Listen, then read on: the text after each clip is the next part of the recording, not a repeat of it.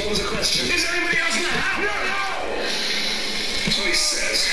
Does he know? Part of the order coming through now. One home run already in this inning. They're definitely looking to do some more damage. Search the house. Wait a minute. Yes. We have very little time left, so we'll split up into pairs. Pairs, yes. Wait a minute. Suppose that one of us is the murderer. If we split up into pairs, whichever one of us is left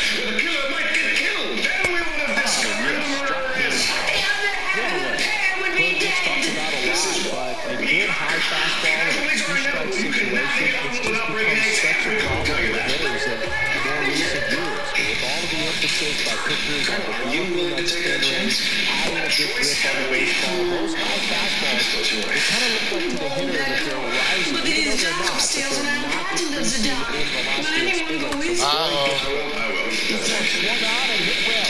Way back I suggest we all draw And lots.